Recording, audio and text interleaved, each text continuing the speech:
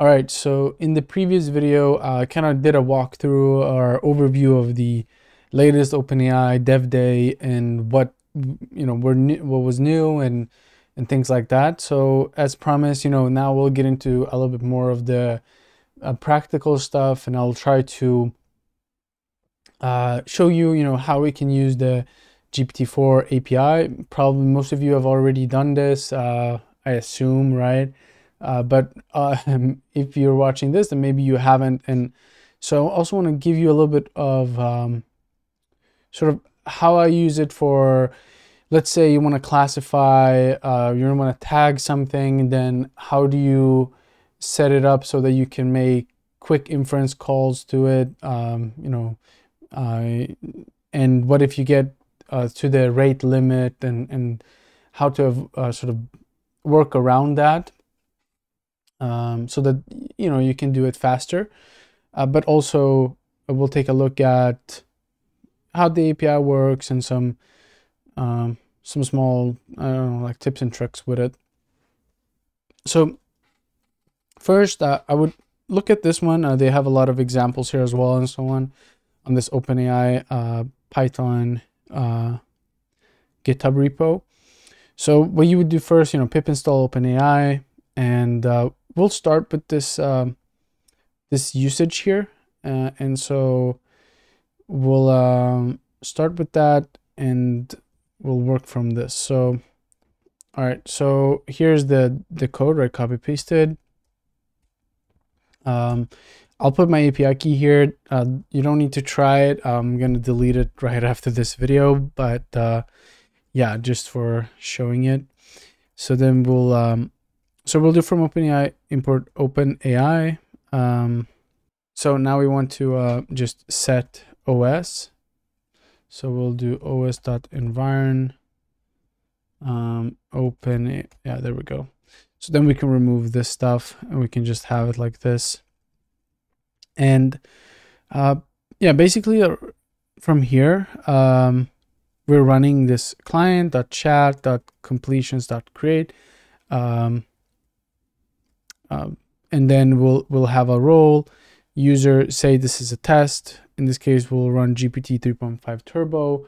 Uh, you know we can also there's also um, the latest one uh, i believe you know is preview 1106 or something like that. We'll just use it for now but do check you know what the latest one is. Um, so that you're using the best one. But so if we run this, then uh, we can look at chat completion and uh, to actually get like the text here, there's a lot of different ones, but we can do choices of zero uh, dot message dot content. So that's how we get the actual output. So we'll do that. And let's create a, a function for this as well. So we'll call call GPT. Uh, we'll specify, you know, the prompt, uh, the model name. Let's just put it to GPT 3.5 Turbo as default. And we can return this to text string, right? Cool. So and also like one of the new things uh and we'll go through more of the new stuff as well right in the upcoming videos but one just small thing you can do now is you can set a seed. Another thing right you can set max tokens uh if you don't want it to output too long ones uh and there's some other stuff you can do as well. You can also play around you know with the the temperature which is you know basically it has to do with the probability distribution of the sampling. So if you increase temperature, you'll basically rescale it so that the unlikely ones become more likely. Uh, so if you want to have fun, put this to 1.0, you'll get some fun stuff, some pretty creative ideas. Zero zero is like the more precise one.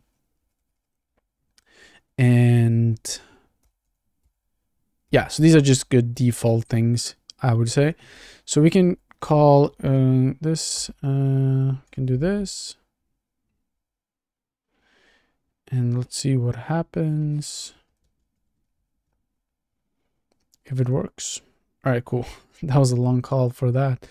All right, we can also change this uh, model name. The content here, right, should be the prompt. Uh, additionally, one thing that you often want to do is you want to have a system prompt to sort of describe what this system is. Like uh, maybe you're doing it for something specific, and so this this uh, can help. Um, uh, maybe you're you're you know doing some very specific classification on specific. You might, it might help to just say you know you are a expert in X. You know. So here we could do prompt. Uh, system prompt. You are a chatbot. All right. Cool. Oh, you are a chatbot. And then we can call GPT with this. Cool. All right, so th this works, right? Um, this is nothing like too this is just the basic stuff, right? Just how you use the API. Um, what I actually want to show you that um, I think the other stuff, right? If there's anything you're missing now, you can probably just look it up um, in the the the keywords of you know what you can uh, change here. If there's anything specific you want to modify, I think these are the main ones. Uh, perhaps you know the thing that I think is um, the thing I've used the most is if you want to do multiple calls, you want to do some classification. Let's say you have 10,000 examples. It's going to take way too long if you just use a single call at a time. So if we can optimize that by doing multi-threading and, and stuff like that, uh, that will help a lot. So there's two things that we need to solve there. The first is that we need to solve so that if in case our GPT calls gets rate limited. So either if you make too many calls or if it generates too many tokens, then uh, we need to uh, uh, to to ensure that we the script doesn't fail, right? So one way of doing that is by using um, tenacity. So you do retry, uh, wait exponential, and you do stop after attempt. Um, so then you do this. Uh, so you do a context, um, uh, a decorator retry. You set the wait to be wait exponential. Uh, the multiplier, uh, it'll basically be uh, two raised to the multiplier, where so basically will be first you'll wait for I believe, two raised to zero seconds or like instantly, right? And then you'll wait one second and then two seconds and then four seconds and then eight seconds. You know, it will be two raised to the multiplier. So if it's one, it will be time, you know, times two every time. Um, and then there's a minimum amount uh, and in between calls, and then there's a maximum amount. So I put it to 10 seconds. I don't want to wait, uh, you know, more than 10 in between trying to call again. And then we can put, you know, a lot of uh, attempts to try it. Um, I would say, you know, play around a little bit with this, but uh, maybe you would increase the max a little bit if it's a really long script or something. But this, I think, works pretty well in general. Um, so that's like the, the first thing uh, that solves the rate limiting thing. Uh, but probably, right, if you have, um, let's say you would have a, a, a list. So let's do input texts, uh, texts list. Uh, this is, uh, like we can do say this is a test and we can do that times, you know, let's do times a thousand or I don't know, times 100. Uh, and we want to do that for each, right? Then we could do that one by one, but it would be better, right, if we would do um, multi-threading. So we would do multiple calls at the same time. So uh, that's what I want to show you how to do. so for that, we'll um, uh, we'll use some different stuff. So first, we'll import a progress bar. It's always nice to keep track of what we're doing, and then we'll use the concurrent library uh, dot futures. I don't think there's any pip install. That's like the standard Python library, but you need to do pip install tenacity for the other one. All right, cool. So if we have that, then uh, we can also do as completed. So we'll do use these ones. Uh, and I'll be completely honest with you. I don't know exactly how this works, right? I don't know what happens with how the multi-threading works and how it's being set up and, and you know all of these things. And frankly, I don't know if I want like need to learn that now. All we want to know is like how we can do it so that it gets done faster, right? That's like kind of the main thing here. So I might not be able to explain like the details of how exactly the multi-threading works. So sorry about that. Um, but we'll do two things. So we'll do one function uh, that will do save output and we'll do another one that's a main one. So basically in the main one, we'll set up all the calls we'll make and then we'll do, we'll call uh, save output which will basically do like one call to GPT. So, and then save it. So let's say you would do it to a CSV file, for example, you want to save the file temporarily uh, at some periodic basis. Um, but in the main file, we set up all the jobs that we want to do, and then each job gets sort of done in the in the I don't know. I just call it save output, but uh, you know you can find a better name for it.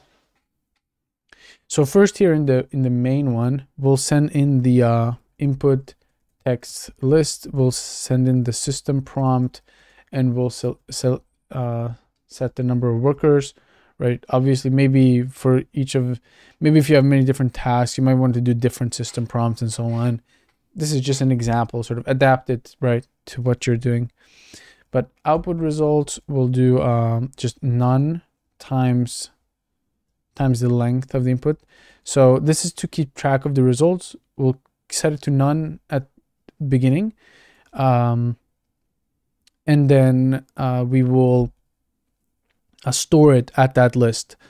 So we'll also do a progress bar. Let's see if we can do that uh, like this. We'll just do the total. Cool. Um, all right, so then we'll do, uh, you know, with this thread pooler. Uh, let's see if we can get Copilot to do it for us. Kind of hoping for that. All right, this is probably not correct. Let's see. So we're doing with thread pooler max workers equals num workers as executors. This is just uh, so that we have number of workers uh, which is set to one as default. Then we'll create basically the jobs. Um, one thing here, right, that's not correct. So we need to, let's modify this. First, here we're going to call the save output. Um, so let's see. In save output, we are going to send in an index. We're going to send in input text. We're going to send in a system prompt um, and basically output uh, results. We'll send in the list as well. And then here we will first uh, call GPT. Uh, call GPT and the thing, input text and system prompt. And then I want to modify so that we store it. Um, one important thing here is let's say that you're doing this for a CSV file, right? If you're saving the file here uh, because you want to keep track of all the intermediate results, it's important that you uh, do this import threading and you do a lock. Uh, so import threading lock equals threading dot lock, and then here you will add with lock. So this ensures that you're basically not saving the result multiple times, uh, sort of at the same time, right? because that can cause um, an error with the file. So yeah, this is just one thing. Uh, cool. So then we'll do a future to index. That's just what I call it. It's basically like all the jobs. So let's walk through this. So we're creating a dictionary executor.submit. We're gonna call, uh, you know, this function save output uh, with index input text system prompt output results, uh, and we're gonna do that for for all the input texts in our list. So here, and this is where I told know, I don't know this exact details of how this works, right? We're basically creating all the jobs that we want to uh, do, right? Um, and that's going to be calling this function. Um, and then uh, we're going to basically iterate through them, you know, when they are completed. So for future in as completed future to index, we'll grab or we'll do a progress bar update. Uh, and then we'll do future dot result. Actually, I'm not sure. Okay, cool. This will raise an exception if one of the threads failed. Cool. All right. Um, I don't, might not need that to be honest, but uh, yeah, that's it. And then we'll close the progress bar and we'll return the output results. Awesome. So basically we're adding a progress bar update of one because we completed one job. And now I think we can call this. So we can do results equals main. And let's just compare it. So I mean if we run and by the way remove this at the start because you never know uh, right? You never know because it, it, there might be an issue and then you'll it'll keep retrying. So, all right, this will take like one minute, right? We can stop this now. We can see that it works. It will take about one minute. And then if we increase the number of workers to 10, all right, so let's just do a, a very simple example to try that this works, right? If we do 10 examples, uh, if we set number workers to one, it'll run one at a time uh, and it'll take about six seconds. I don't know if put uh, four workers, uh, it'll go in one second, right? So basically, like it'll improve a lot and it'll improve more, you know, if you put 10 and, and so on. So, um, yeah, I think this is a good place to to start, uh, and uh, a good default to to sort of use. Uh, let me know if there are any questions on this. Um, this is what I've been using and it has worked for me. Uh, let's see also another thing, right? In the README here, they also have like asynchronous usage. Uh, the asynchronous usage, right? That's kind of it's useful if you're trying to do do other stuff. Uh, so if there's a certain API call that you know you're let's say you're in an app and you're wanting to get the weather weather or something and then uh, you make that api call but you don't want to kind of freeze the entire app while you're doing that api call. Might make sense to do that asynchronously. So you're making the call but the, then you continue right? Um, since we're doing the main thing here is to classify stuff the async usage might not actually make that much sense right? That's why i didn't put too much emphasis on it Cool. All right. Uh, this was uh, the GPT-4 API. Hopefully gave you some sense of how to use it. Uh, let's look at the uh, future videos on, you know, more details on how to use specific things uh, with the OpenAI stuff. All right. Thanks for watching. Let me know if you have any questions.